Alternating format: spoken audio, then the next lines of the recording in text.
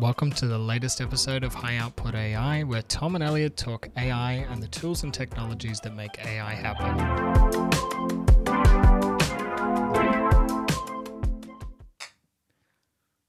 We've done it. We've done it. We are in person. Tom and Elliot in the same room, proving that we are not deep fakes of one another.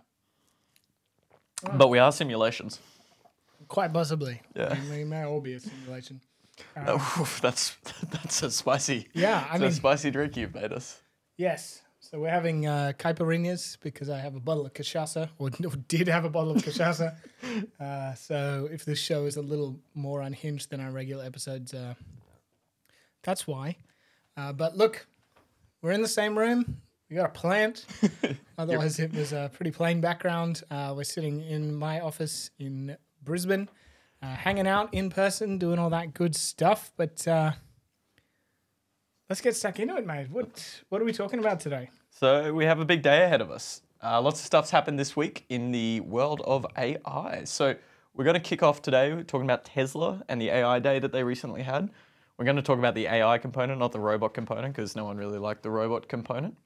We're then going to jump into a interesting topic about data laundering and the idea of free use of copyrighted material in training models. And then because, you know, we got to go for three weeks in a row, we're going to be talking about Stadia once again for the third topic today. Stadia. So yeah, um, but just a bit of a before we do that, let's just say welcome to all the new subscribers again this week and all the new viewers that we've got. Uh, if you're watching this on YouTube, please do subscribe, hit that like button, and press the bell button. Uh, and if you're not, uh, leave us a review on whatever you're listening on as well. So, um, but Elliot, Yes. let's get into it. Let's get into it. So Tesla AI Day. So each year, Tesla, uh, obviously the car company Tesla, holds a holds a day where they reveal what they've been working on in the AI space. They're one of the leaders, especially in the computer vision world. And this year, and this year they uh, did a two part, kind of a two parts to their AI Day. The first part was based on their robot that they're releasing, which is a humanoid, and it was uh, from the robotic community seemed like a bit of a fail. Was the general consensus. Yeah, I mean, look, I'm not a I'm not a robotics guy myself, but it was uh it was a bit meh. Like, Yeah. I mean, look, it's cool. Anybody who builds a humanoid robot, you know, you get you get certain kudos in the engineering world. Um, these these are particularly strong beverages. Basically straight rum. yeah, we didn't have any ice either. So, uh, but I don't think that was the coolest part of AI No. Day. Let's let's give them that little bit of uh, exactly. Exactly. So the first component, component was the robotics, and the second was all around their computer vision and their AI work and development for their fully self-driving cars, and that was super cool. I thought. So they've made lots of progress in the last year. They've now gone from 2,000 cars, fully self-driving cars, to 160,000. And what's really cool about all of these cars is that they are now all gathering data and using and also building their database. But also Tesla's done a lot of work in the background of auto labeling and essentially almost auto training all of their models in this space. And there was kind of three things that we thought were really interesting that we wanted to talk about today. The first one was the models itself. The second thing was all of the training and data that came uh, behind these models and what allowed them to create these uh, these new models. And then the third area that we wanted to jump into is the hardware that they have built, custom built, to be able to do all of this. And it's all pretty impressive across all three fronts. Yeah, yeah, yeah, it sure is. It was a cool presentation. Uh, lots of different people speaking on the stage. Yep. Um, Tom and I were commenting that uh, it's, a, it's quite a young cohort running the AI team. Um, nothing wrong with that, but it was uh, it was interesting to see how many probably you know late 20s, early to mid 30 year olds, uh, unless there's something going on at Tesla where they all get, you know, injected with uh, stem cells every six months and these guys are all really 60. But yeah. uh, seemed like a young crowd, which is cool, which, yeah. you know, to anyone listening uh, or watching who's, you know, Tom and I are, are both in our 30s, early 30s. No I- stem cells. no stem cells, not yet, at least, and probably like doing bad things to our body with these nasty drinks and things. Um, but I think it's it's definitely easy to be at the forefront of AI without you know a ton of gray hairs.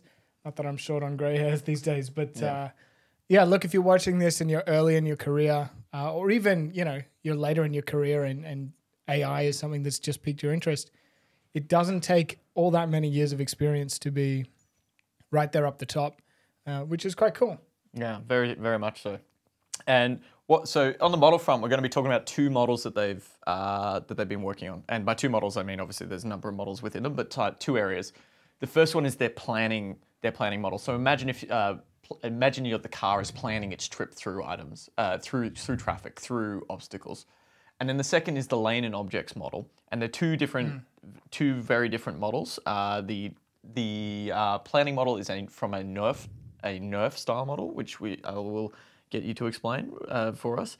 Um, but we'll kind of run through in, uh, in their like top, their top level things of what they've been able to do. So over the last year, they've released they've made 35 different releases and they've shipped over 281 models. Now, we're not exactly sure what those numbers mean, whether that's 281 new models or, or ver version 1.02 of the other model, but lots of lots of uh, lots of uh, updates across the year for their fully self-driving cars. They've they've done 18,000 pull requests. They've done they've trained another 75,000 models on top of the ones they released and they have a 4.8 million clip data set. So big numbers here, and it's probably one of the biggest AI efforts in the world, it's fair to say. Yeah, absolutely. I mean, you can imagine, I think they said something like 30 petabytes of data yep. in their training database. You know, they've built a custom uh, supercomputer, which really just means like a bunch of GPUs tacked together with some some storage, but it's a gargantuan amount of data. There's eight cameras on each car um, looking sort of straight out the front, a little bit to the side, directly on the side, and then I think some semi couple backups as well. Yeah, um, and you know if that's capturing data at you know a few times a second uh, and processing that and sending that up to a cloud somewhere, that's that's a lot of data. That's probably you know rivaling YouTube in terms of the amount of new video data that's coming in every day. It's amazing. Yeah. So I was wondering if we can start off with this Nerf, uh, with these Nerf models in the planning. I'm wondering whether you can speak us through them and what a Nerf model is and what they're hoping to achieve with those models. Yeah, absolutely. So, um, know, this model, this first one that we're going to talk about, it's how I guess the car sort of builds its picture of the world. Um, so part of that is Nerf, which is a neural radiance field, uh, which is kind of like radar uh, or any sort of depth detecting modality from the past. So it's all about taking a static image. So, you know, if you're viewing this on YouTube right now, you can see Tom and myself, you can see the pot plant, uh, and you can see this this microphone uh, boom arm. They're obviously we're obviously all not jammed up against this wall behind here. We're sitting at different depths. Uh, this microphone is in front of me, uh, and a radiance field uh, is a way of measuring or, or, assigning for each pixel in this image a distance. Um, and you can then use that to, I guess, get a semi 3D version of the world. There's some limitations on that if you've only got one viewpoint, in that, you know, something's hidden, like one of my hands is behind the other. Um, there's no way that you can get that from video data. But when you've got six cameras at different angles and things like that, you can build a pretty robust picture of the world. Yeah. And uh, it's it's very interesting that they've gone this method. About a year ago, they completely scrapped their lidar technology, and they found out that it seems that these Nerf models are more efficient at calculating depth than actual rate lidar.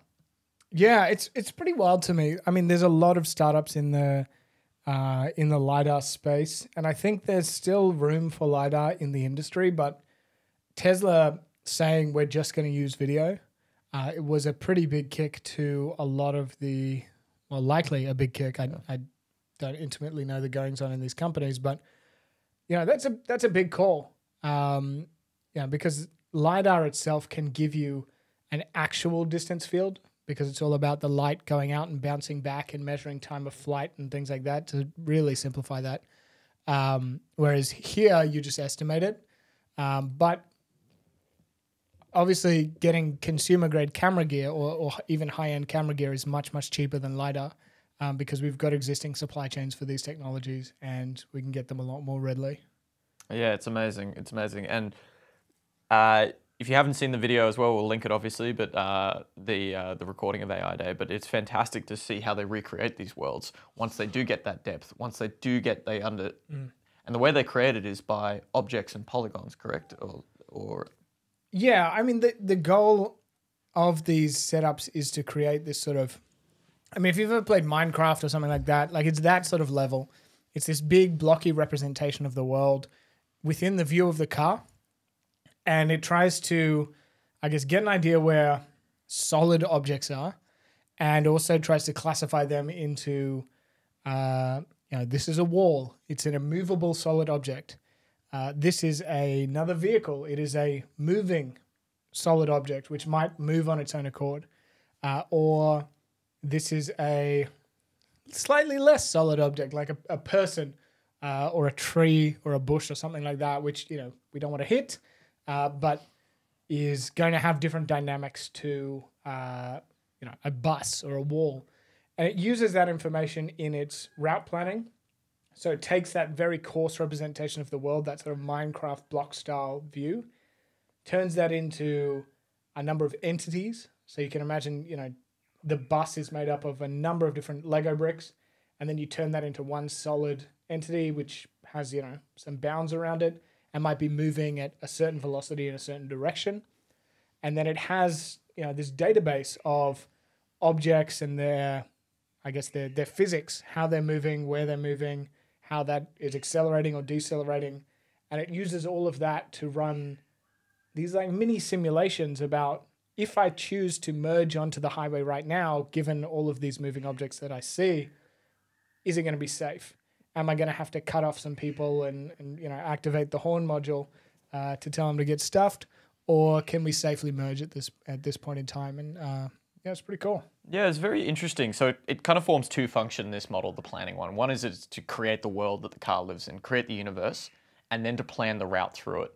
And listening to the listening to the talk, it gave a really cool explanation as to how it plans that, which is an optimized tree search. Uh, but the interesting way that they optimized this tree search was rather than run a million calculations as to which way is most likely to result in the safest outcome for the car, they actually use it to uh, they actually filter out options that a human would most likely not take. So, for example, uh, most human drivers are not jerks, or not. Uh, the example they give is most human drivers are not jerks and will not try and speed out into that gap really quickly and hit that gap.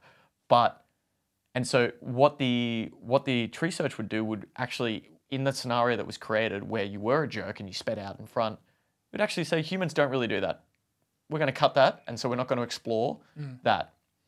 Um, have you seen any other like tree searches like this, or like some in other areas that uh, that have been successful, or is this like a completely novel So novel think- way for this? I mean, tree tree searches themselves are pretty well established, pretty well used algorithm for reinforcement learning, sort of complex dynamic system optimization type scenarios. So, uh, back in the old days, you know, you can even imagine the the simplest scenario, or, a very simple scenario, is like a game of tic tac toe, and you can build a tree based on, you know, what moves the opponent makes and you make, and trace those down to all of the possible states for that tic tac toe board. Uh, and then if you're building an AI to solve that problem, it can you know look ahead in the tree and say, I've got six different options. Which one's going to lead to the most wins?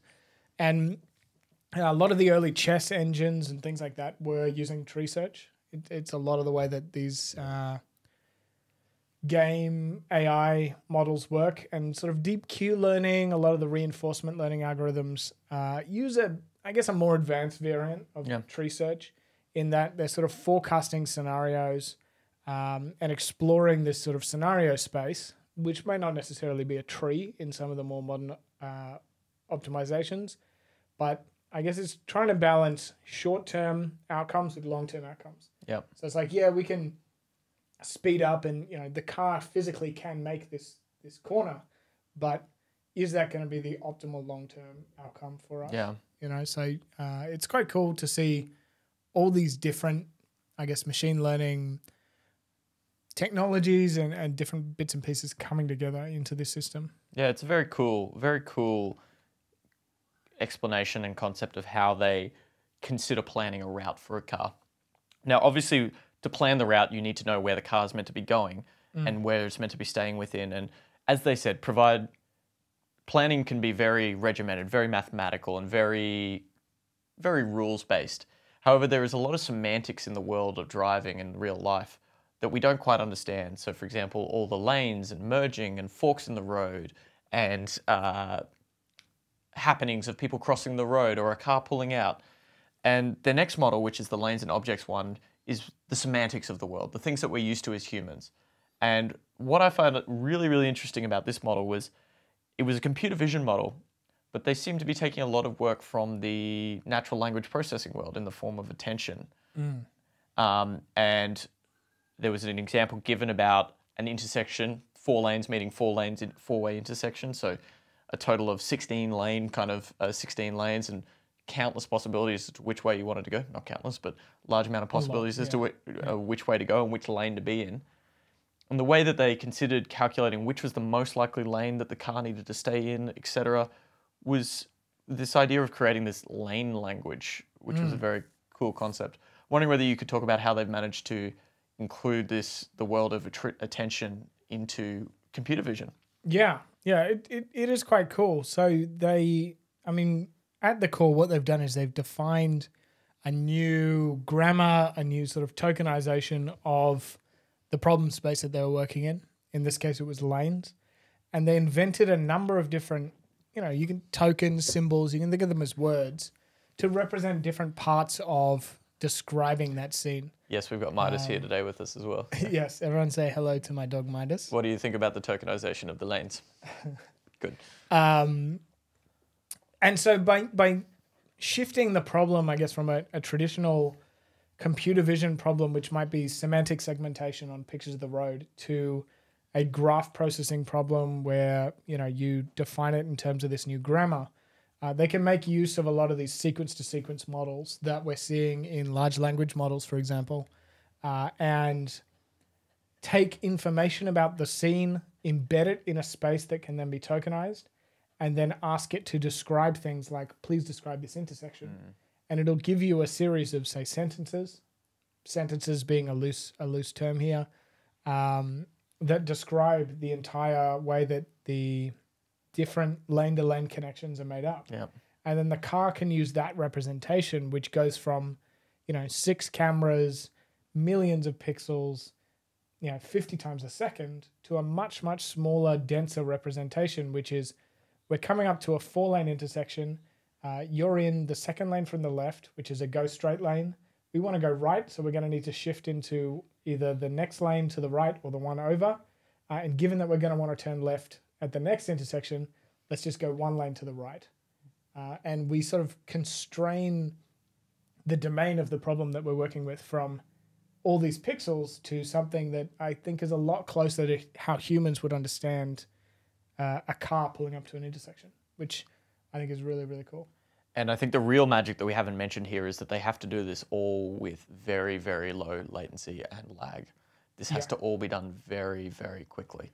And so there is a huge optimization around how do we focus in on the correct part of the problem very, very quickly? How do we like exclude things with high degree of confidence that can be excluded? So in this case, for example, driving into lanes of oncoming traffic, we can just exclude them from the problem set very quickly. Hopefully, yeah, hopefully, spicy, spicy sip there, was it? yeah, yeah, yeah. Getting to the bottom half of this. I might. I might actually have a sour beer soon if I'm not careful. This is like, this is how gross this is. um, uh, so I think we'll, we'll keep shuffling along because we've got so much to, so much to cover today. But um, anything else to add on these two models that you, that we haven't talked about so far? So I think you know one thing for for the listener out there who is you know probably working in AI and thinks, oh my god, how do they get this stuff done? I think the thing that I noticed a lot is that these systems are not one magical AI model that solves all the problems. They're not a brand new methodology of how to do artificial intelligence. Yep. What they're doing is they're taking the best in class for solving different categories of problems, framing their problem as that type of problem, and piecing these things together into a system.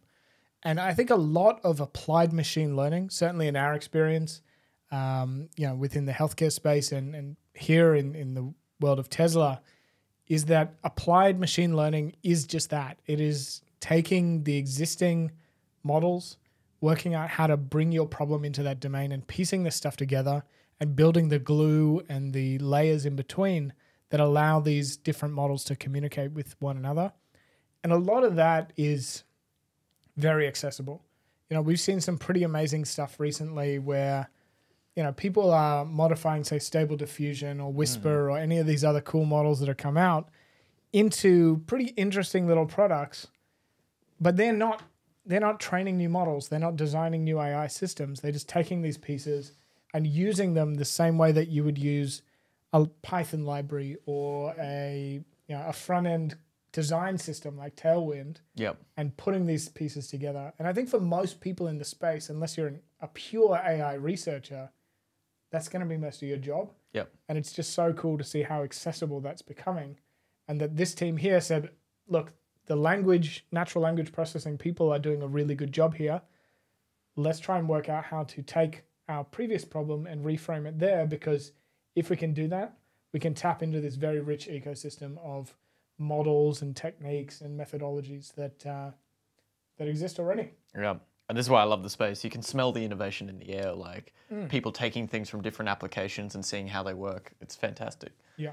But let's jump into uh, the training and data behind it. One thing, obviously, Tesla has to their advantage is they have 1.4 billion clips being gathered all the time. It's yeah. insane the amount of data that they have. Yeah. And we'll get to the infrastructure a little bit afterwards. But they have so much data where they've now had to focus on how do we train, how do we label this data? Mm. And a large part of their effort has been on auto labeling and also uh, gathering data where they're and and and creating data, synthetic data, in areas that they're weak on that isn't gathered that often because they've got so much data everywhere, but there's some areas that they're very weak on. And they had some very cool, uh, some uh, cool uh, ways that they created uh, both auto-labeled and then created synthetic data. Can you talk about any of those things for us? Yeah, I mean the the auto labeling, which I always found a funny term in this space because it's just like it's not really auto labeling in the way you might initially think, which is like give it some pictures of roads and it'll just magically come up with the mm. labels. What they're doing is they're saying, okay, look, we can put a certain amount of, of people hours into labeling data, uh, but we don't have an infinite number mm. of resources. And if we've got, let's say, two trips down the same stretch of highway from two different cars, and we've labeled one of them, but we haven't labeled the other, but we've got the acceleration data and the temperature and some other data from that second system, we might as well make use of those labels because let's be frank, roads don't change that often. Mm. The actual road itself looks pretty much the same one Wednesday to the next. Uh, and they've come up with systems to say, look, we know the GPS data of the car, we know its trajectory, how it's moving. Uh, let's use that information to take data from other trips and reuse that labeling mm. data to then get you know similar scenes but from maybe different times of day different weather conditions and things uh, labeled in the same way. And it's really like it's like label leverage more than auto labeling um, which i think is it's still very cool. And and i'm sure it's a massive engineering effort to align all of that information. Um, the simulation stuff is quite cool. I haven't looked into that as much. I know back in the day um, I don't know if it was Tesla, but generally in the self-driving space, people were using uh, Grand Theft Auto Five because Amazing. you could uh, you could put somebody in a car and drive around areas, and uh, it wasn't obviously it's not a perfect translation of real world traffic, especially you know. Yeah. It explains why like yeah. some Tesla's cars just jump off cliffs every now and again, right? Yeah, yeah, exactly, and and machine gun down, you know, the the gangsters on the side of the road or whatever happens in GTA Five. I don't think I played Grand Theft Auto since yeah. Vice City. Um, but uh, I think it's getting a lot more advanced. And if you think about, um, you know, simulating a driving environment when we've got 3D modeling and, and pretty good geospatial data, you can get a sort of first pass and mm. environment data pretty well. Um, especially when you've done, you know, if you've done 50 trips down a road before and you want to capture data of that same road – but you want to put a put a you know an old lady pushing a shopping cart across the crossing. Yep. You get ninety percent of the way there with your existing footage. You just have to simulate old lady pushing shopping cart. Yeah. Um, which, which is, you can probably take from another from another segment. Yeah, exactly. I mean, I'm sure there is somebody within Tesla working on sort of mashing together. The, yeah, or the the stable diffusion esque of driving. you know, Yeah. which is like, please give me a downtown Colorado during a snowstorm, Bus pulling out. bus pulling out, old lady with shopping cart full of oranges. Yeah. Um, and you know, S- it'll, it'll- Slightly stoned driver because it's Colorado. Yeah. and it'll be that classic scene of you know they swerve out of the way, the lady tips her cart out, the oranges go everywhere, Yeah. and uh, I don't know, some car chase ensues. That's the scene from The Matrix, I'm pretty sure. Anyway, moving on. Probably. So, uh, and then the thing that underpins all of this is, you know, what we all have access to, which is 14,000 GPUs. Yeah. So, Yeah. Holy smokes. so uh, just some little facts on the hardware that they've created. So they've got 1.4 billion frames to train on. Uh, to, it takes to train. They've got about 100,000 GPU hours to. Uh, they need about 100,000 GPU hours to train that model. Uh, and they've got a 30 petabyte video cache. 30 petabyte video cache. I mean, what's what's crazy about that to me is that that's the cache, Yeah. They- which is like a rolling. Uh, what they do is they, they bring new video data into the cache and spit new data out. rather than thinking of a pool of data, they've Yeah. had to like turn it into a pipe Yeah. because they've got so much coming through at any point. Yeah, I, I think to me that's just amazing. I mean, imagine if ImageNet or any of these other large data sets that you use, Yeah. like the the Wikipedia data set for language models, if that was just like, look, this is too much, there's too much data on Wikipedia, so we'll just give you like a thousand pages a day and then we just rotate that through, but we cannot physically give you Yeah. this much data. Now, obviously, with Wikipedia, you can download all of Wikipedia Yeah. because it's mostly text, but video like this or like YouTube if you realistically wanted to train a model on YouTube data, you can't store all the data that YouTube has. So you've just got to be like, give me 10 hours of video that was uploaded in the last two days. Uh, and I'm going to do that every day. But my computer at home, you know, despite its big hard drive, cannot store even a tiny fraction Yeah. of all the data that YouTube has. So they've created their own supercomputer with stitching together 14,000 GPUs. But as as they say, as they say in the yeah, I looked up and something Nvidia sells like a couple of hundred thousand a quarter. Like that's a large portion of all of the GPUs in the world. Yeah. I wonder what models they are running. Like what GPU? Do you think they're made in house or like Um, well, I mean, some of the latest stuff in that video suggested that they're starting to do custom hardware, but uh, be pretty wild to imagine like some Tesla employee going down to Best Buy or whatever and just being like, "Look, just give me every 3080 Ti that you have." He's like, "Okay, how many? How many do you need? We got heaps." It's like, "Oh, about fourteen thousand, please." yeah? Which I imagine is not the way that Tesla sources its GPUs, but I don't reckon they did it that way. But anyway, You so they, so um, and as they as they jump into in the video, it's not it's not just uh, during the presentation. It's not just a put. It's just not just let's get fourteen thousand GPUs and run some stuff through them. There is a lot that's had to go into this as well, and they've had to make the bottleneck the GPUs because they're the most expensive component. So they've had to oversize everything else around that. Yeah, I think that's a really good design philosophy and a really interesting part of this talk is that they said, look, yeah, as you say, GPUs are the most expensive bit. We can get RAM, we can get memory. Uh, sorry, we can get RAM, we can get CPU, we can get storage. I didn't want to pull you up on that because Yeah, usually no, no. usually you're uh, Um, uh, for cents on the dollar compared to a GPU. So let's work out how to make this massively parallel. Let's make the optimizations or the changes we need to in software so that the GPUs are basically running as efficiently as possible. Yep. Because if they're if they've got downtime, if we're wasting all our time taking our data from disk into RAM into GPU, then we've spent this money on fourteen thousand GPUs, and GPUs aren't cheap. Uh, I mean, look, if you're Elon, you can buy Twitter, you can buy GPUs, whatever you want. I'm sure you can. You can Twitter, get a Twitter, will, uh, Elon will buy Nvidia. That's the next thing. Yeah. Ooh, spicy prediction. You heard it here first. Elon buys Nvidia. Um, but yeah, I mean it's it's cool, and you know they made modifications to PyTorch. It's interesting that they're using PyTorch. Yeah, Um, I saw that. I thought they like they're making their own silicon, but they're still using PyTorch. I found that funny. yeah, yeah. I mean, look, PyTorch is pretty good. I I spent a lot of the last five or six years in TensorFlow. Only really started in PyTorch in the last twelve months. Not for any particular reason. It was Yeah. just like we were using TensorFlow, so let's keep using TensorFlow. Um, but PyTorch is quite good. I like it. It, it. Evidently, Yeah, I mean it's quite easy to work with, and I mean, Elon seems to like it. Or I mean, I don't think Elon's actually writing any one PyTorch thing I will say about Elon at the day, he clearly didn't know what was happening. He was very underprepared for it. He walks out and he's like, "We built some robots, and we're going to talk about some AI. I'm out." Yeah, yeah. I mean, look, I, people need to remember Tesla has a lot of employees. He had a lot going on that day. Yeah, he's a, he's a busy man. He's got uh, you know six trillion different companies trying to buy a, a million more, Yeah, and he's going to buy Nvidia soon. So yeah, social commentary on all of the world's events. He's, Yeah. he's, he's got a lot going on. He launched a perfume line. Wait, what? Yeah, yeah. He said, you know, given my last name, I can't believe it's been this long. But uh, Yeah.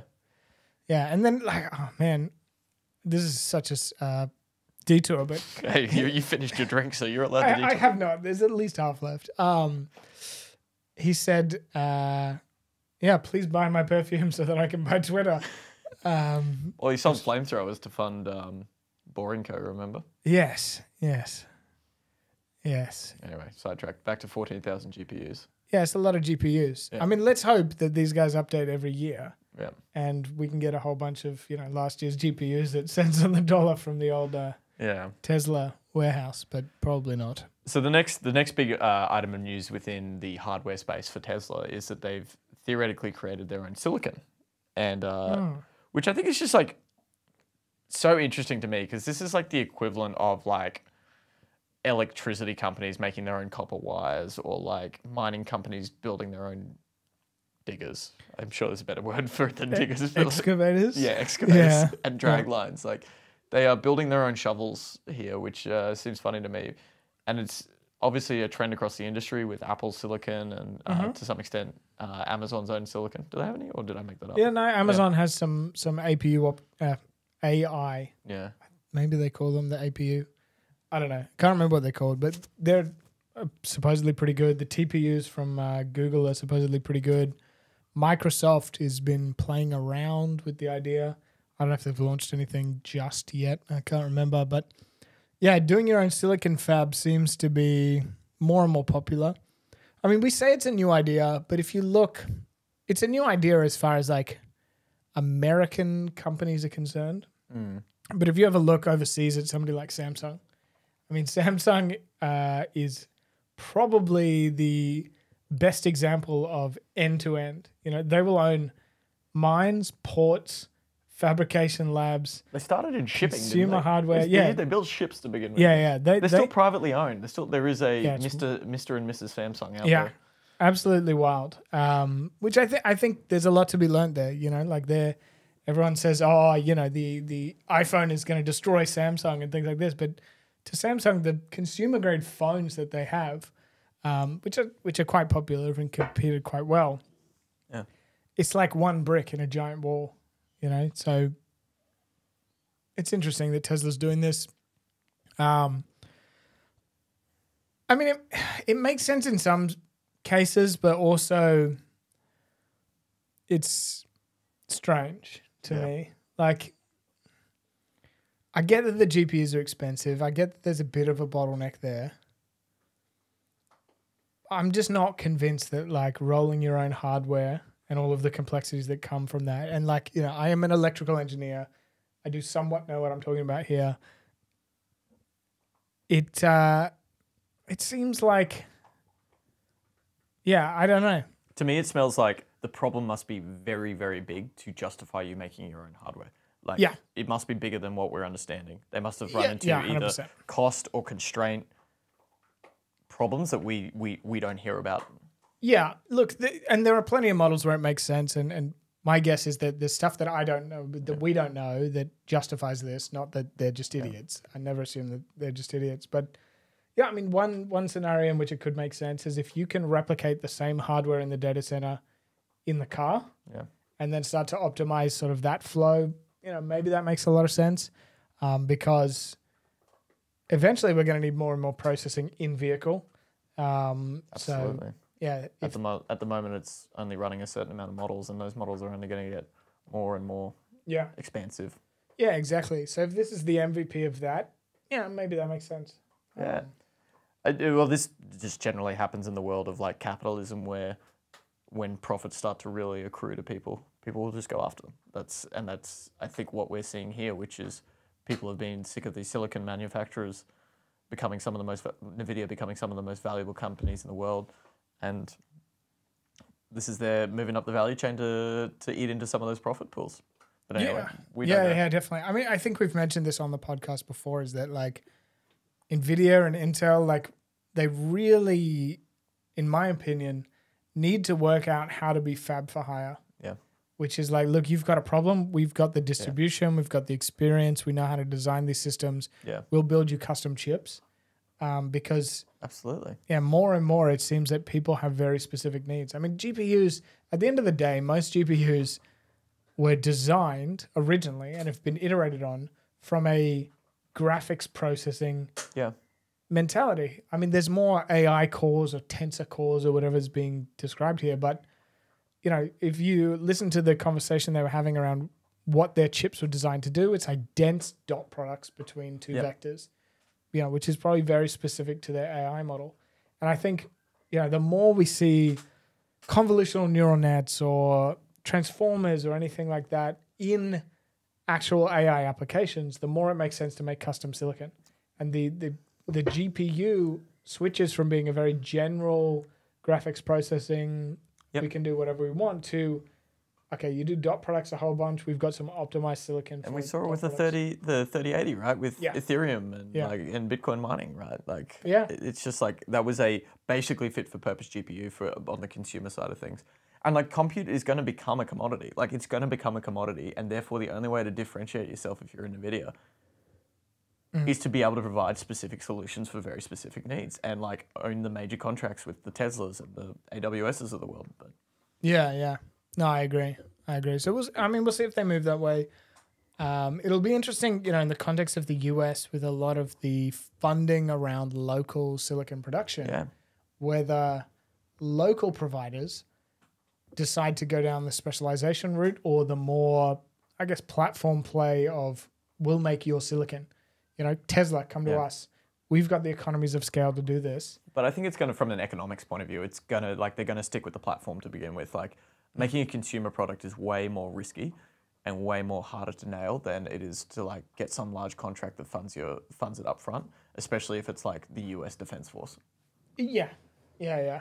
Absolutely. And everyone's looking at, like, the Russia Ukraine conflict at the moment and seeing Russia, like, ripping chips out of fridges to, like, power their tra- tanks or whatever's on Reddit at the moment. And every country is just going there going, like, we don't want that. We're going to have local, com- we're going to have local chips and we're going to have local compute manufactured. Yeah, I think that there really has been a realization over the last two or so years, not just from war, but from supply chain issues, COVID, Yeah. everything else, that like the same way that we make food locally, the same way that we make power locally, we need a certain, yeah, compute load manufacturing Yeah. capacity as a sovereign need because otherwise you're at risk of just being completely cut off. How close are you to saying data is the new oil right now? I just, I'm not going to say data is the new oil. I mean, I've I heard dare you to. I dare you to. data is the new oil. um, I've had some good workups of that though. You know, expanding that metaphor into oil is great, but not very useful on its own, and jet fuel and all this other sort of stuff. But uh, no, they. You refuse to say that. I refuse Good. to. to Good. You passed the test. You may stay on the podcast. Oh, oh, that's good.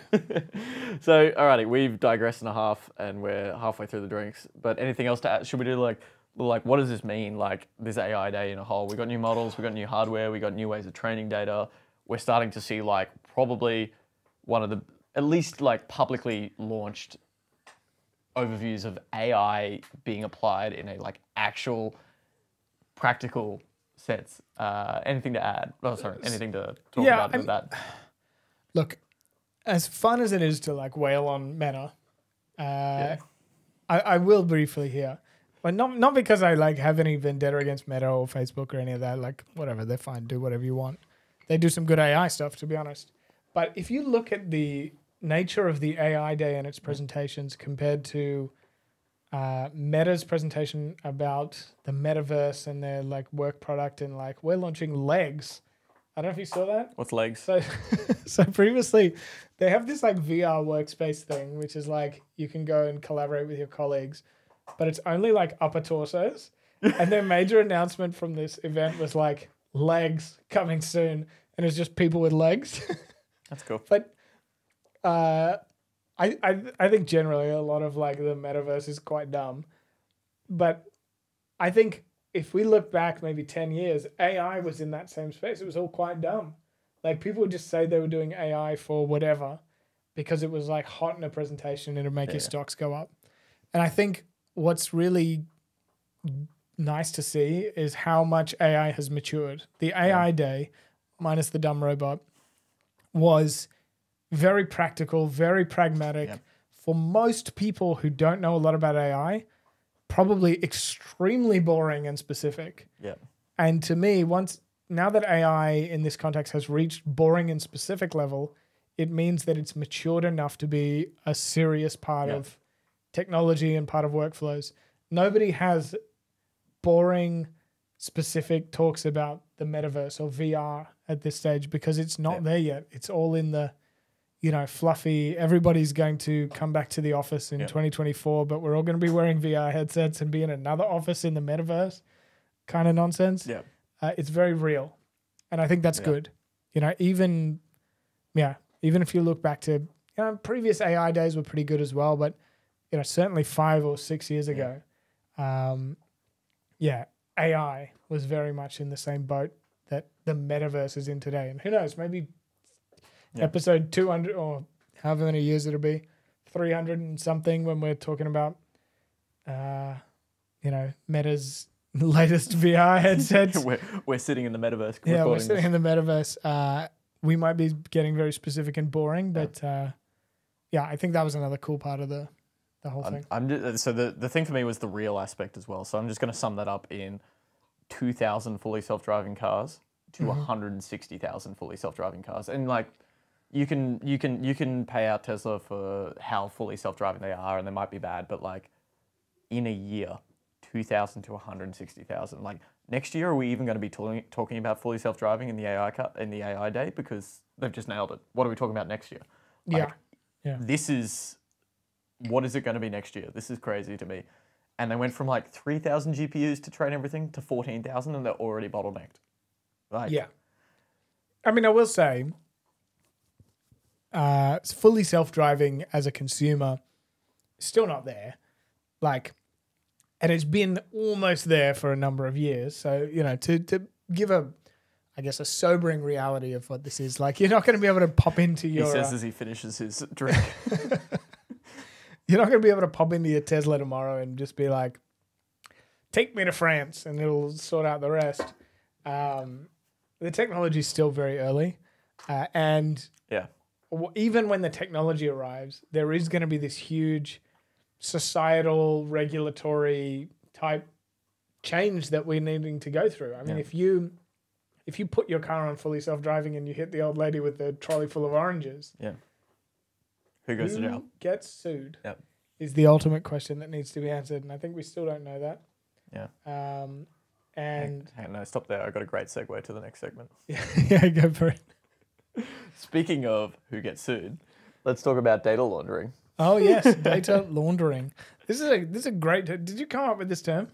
No, it was the title of the article. Oh, Great article. oh well, Yeah. you, you should have claimed it. I would have believed you. Oh, you, you would have believed anything I- I- at, at this, at this point. So data laundering. Uh, second topic for the day um, is uh, basically we're at this point where private companies are getting research institutions to do their dirty work.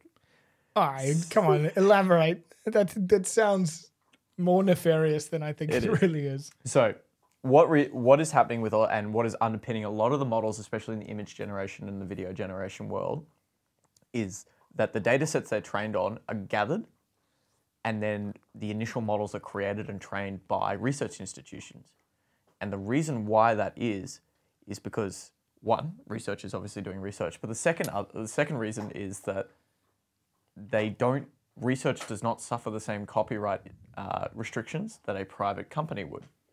So this all came from a person called Simon Willison who had dug into a couple of the models and where all the training data sets came from.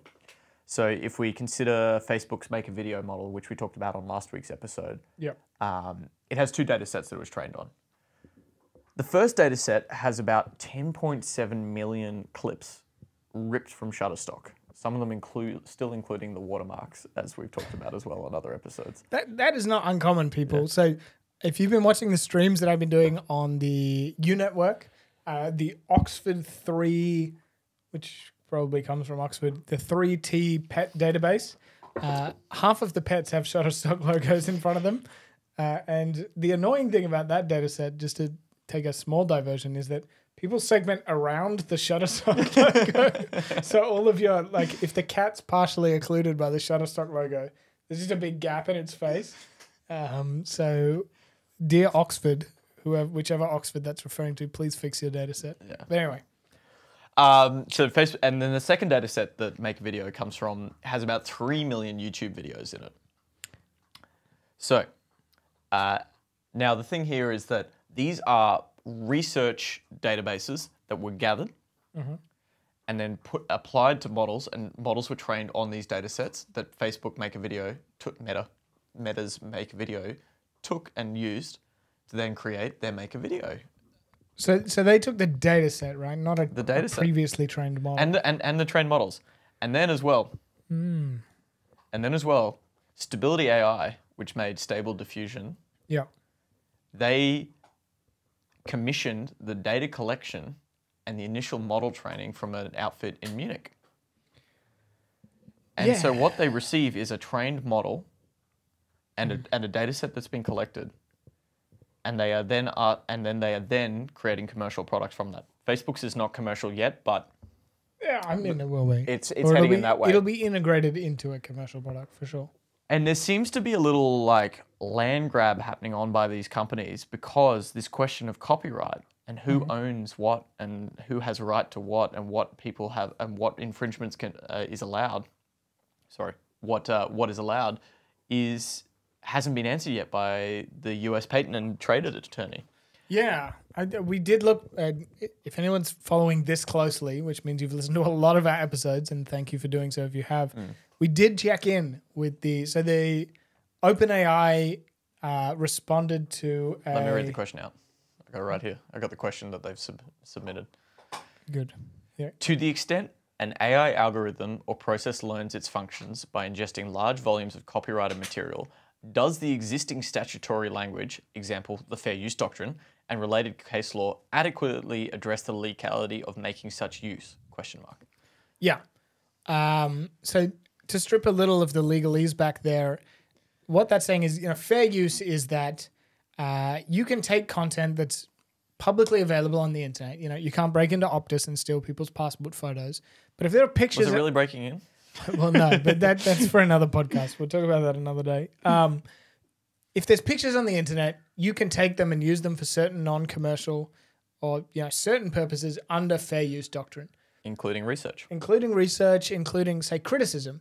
You can use clips of films to give a review of a film or to provide criticism about the film, etc.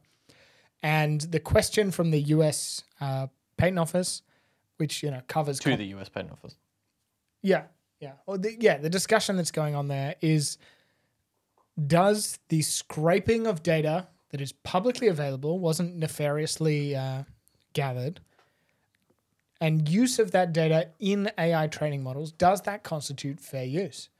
Uh, and the outcome of this is going to say big things about a lot of these AI models because most of this data is from the internet.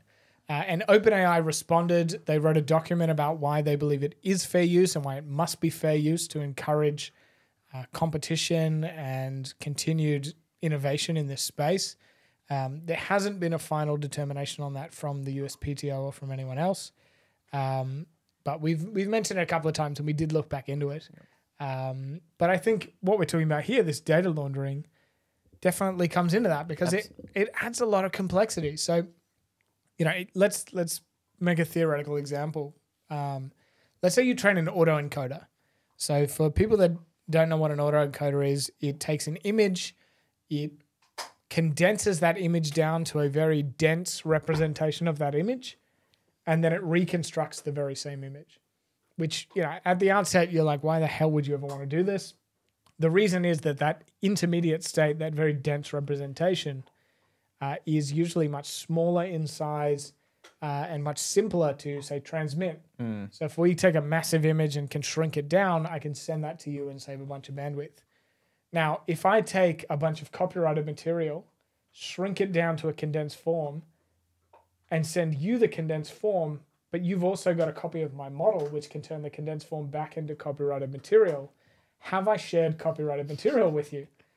Um, and you know, in the in the sense of Yeah. data laundering, that is going to be a really bloody hard question to answer. And then it gets even more complex where if you take a copyrighted image, shrink it down, I'd then return a cop an, a very similar image that was to the copyrighted one, and then I'd use that to then train on another model. Like Yeah, we're like, at what point we're in a Theseus's uh, ship situation, which is the like, if I go on a ship and I replace every plank of wood on the journey, am I still on the same ship?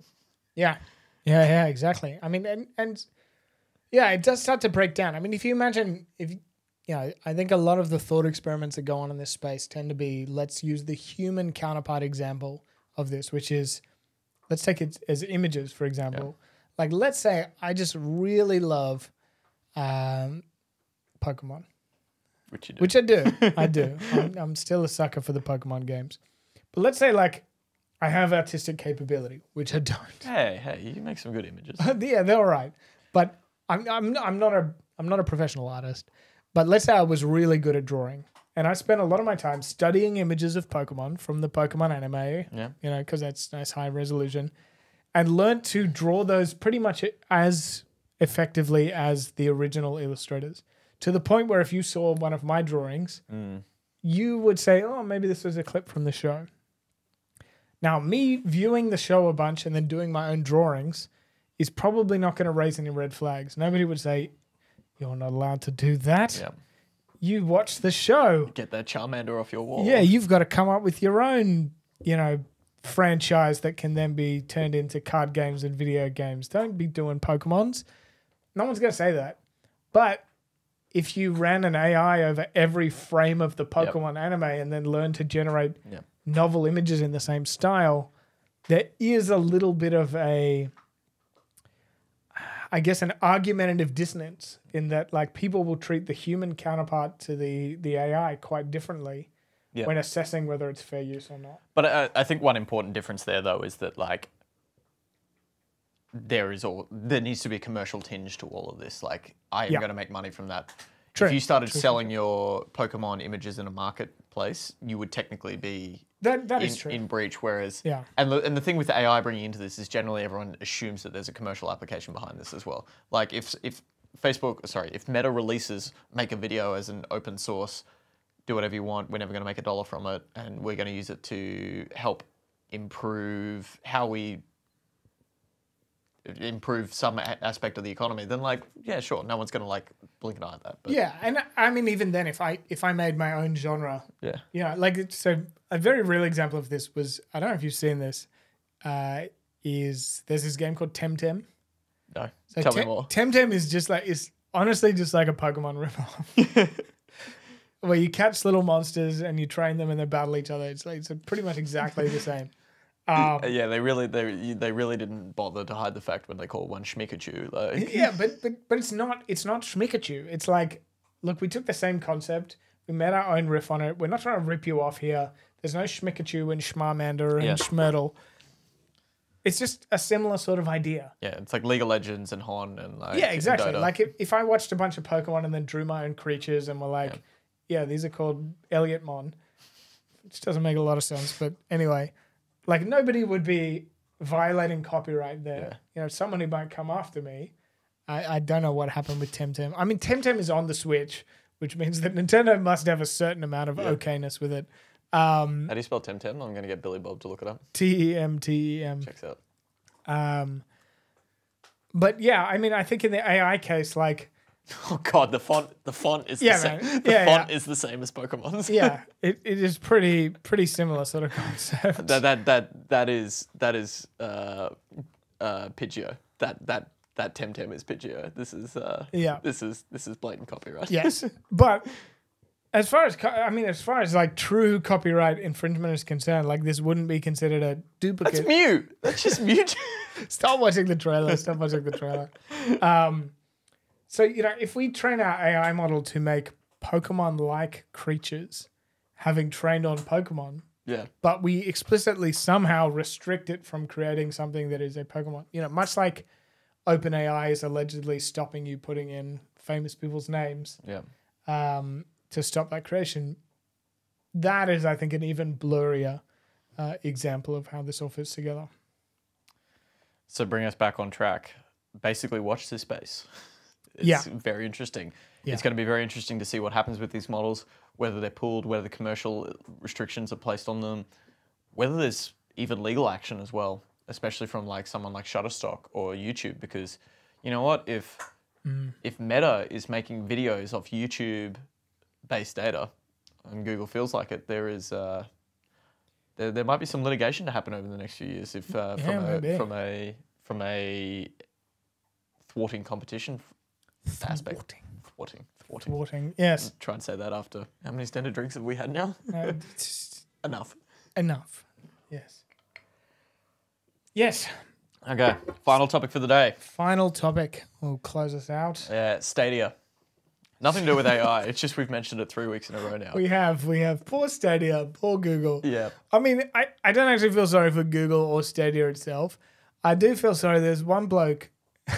I don't know if it's a bloke, to be honest. There, was one person on the internet who posted, I think on Twitter or somewhere else, that they had spent over 6,000 hours in Red Dead Redemption 2 on Google Stadia, and there was no way to transfer this their saved data. They were very upset, as you can imagine. It's like a full. That's like a year and a half yeah, of I mean, your life. That, your that- waking that's hours. a lot of time. I mean, number one, that that's a hell of a lot of Red Dead Redemption. I mean, congrats to Rockstar for making a game that had that many hours in Yeah. it. But uh, I mean, it's a bit rough to just shut the system down. Uh, and I mean, there's that meme of like, you know, everything that Google makes will get shut down. Yeah. There's the Google graveyard. And so the reason why I wanted to bring this up is we were talking about it last week, and I mentioned on last week, uh, last episode that yeah, they weren't able to solve the technology issues. Turns out they were. Turns out that like they were very much able to get for specific games. Like, look, you're not going to be competing in the World Champions for COD anytime soon um, with Google Stadia, but they were able to get the latency down to a point where people were able to play these games. But what ended up happening is that anyone that was serious enough to play games wanted their own setup because it's not just about like when you're gaming, you're not just there to like obviously performance is an aspect, but you're there for the headphones, you're there for the mouse, you're there for the keyboard, you're there for the like screen, you're there for like you're there for your gaming setup. This is like setting up your home cinema. Sure, you could go to the cinema yourself, but like the home cinema, like the home gaming is a is a feature that you really really want and you're proud of. And mm. they ran into this they ran into this like customer issue rather than a technological issue, which I found interesting. Yeah, I'd believe that. I mean, look, if Google wants to stream some shit over the internet. I think they're going to be able to do that. Like, I, I really don't think that's going to be their bottleneck. They have the hardware, they know how to spit things over bandwidth. They're pretty good at compressing data. I mean, like YouTube is a pretty golden example that, like, if they want to get visuals over the internet, Yeah. they can do it. Um, but yeah, I, I think it's a hard niche to crack this sort of cloud gaming setup. And I think you're right. Like people want a lot of control over it. Um, and also, I just think like Google doesn't have the reputation or the history in the gaming space that people are going to say, yeah, absolutely. Let's uh, let's go all in on this. You know, if Steam suddenly did gaming streaming, or if Sony did it for PlayStation, which they do in some jurisdictions, jurisdictions, some countries, um, or Nintendo did it, which Yeah. they are about to do with a bunch of the Resident Yeah. Evil games. People say, okay, cool. Like, you know games. Clearly, you understand what the priorities are here. This is fine. I'm going to trust you. But, you know, it, That was that was just sugar. just sugar. Yeah, that uh, keeps you healthy. But yeah, I Excuse mean, me. to me, it'd be like you know LG doing video game streaming. Yeah. Like, yeah, maybe they technically could, but should they? Yeah. Why are they doing it? But you said to me when we were preparing for this um, that yeah, now Google's just shut it down so they can sell it to the Yeah. PlayStations of the world, Yeah, look- the Sonys of the world. Sorry. I don't think Google wants to be in consumer grade Yeah. video gaming streaming. I think Google wants to be in enterprise grade platform plays for video game streaming. So they've now done a proof of concept, which they can advertise to Sony, Nintendo, Mike, well, probably not Microsoft, any of these other Yeah. major providers Yeah. to say, look, you want to do this? Holy Run crap. it on Google Cloud. That's interesting because Microsoft owns Xbox and they also own EB now, right? Who did they buy recently? Was it EB? Activision Blizzard. Sorry, Activision. Activision Yeah. Blizzard. Like now, Sony is sitting there shaking their boots, going, "We need a we need a cloud provider." Yeah, I mean, yeah, I don't know who Sony uses as their backend. They might run their own gear, but um, they do game streaming for, at least in the US, they do streaming of some older titles onto the PS5. Rather than running an emulator, they just run it in the cloud and stream it, uh, which is pretty interesting. Very cool. And then the final topic for the week, The final, final topic. the final the final, week. is actually just last week we talked about the Omniverse, and I got confused as to whether the Omniverse was a thing or I actually meant the Metaverse, and I just made it up. Turns Yeah. out the Omniverse was a thing. So. it- There you go, NVIDIA's folks. Omniverse is a real-time graphic collection platform created by NVIDIA. So I was kind of right. There you go. NVIDIA's Omniverse is created by NVIDIA. You heard it here first, folks. Elon Musk is going to buy, uh, who did we say? NVIDIA. NVIDIA. and it's going to be Elon Musk's uh, NVIDIA Omniverse created by Hmm. NVIDIA and Elon Musk. The Muskverse. The Muskverse. brought to you. This episode's been brought to you by. by Musk by Musk.